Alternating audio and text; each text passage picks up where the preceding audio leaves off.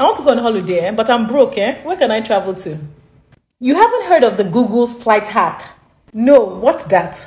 Just search on Google Flights, but don't put anything in the destination tab here and click the map. Wow, that's a lot of cheap flights. You can even click here to get all the non-stop direct flights. Jesu. So I can travel to Marrakesh just for $86.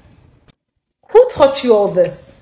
Sassy Funke did. She's a travel professional that does her homework so that I don't have to. That's why I follow her.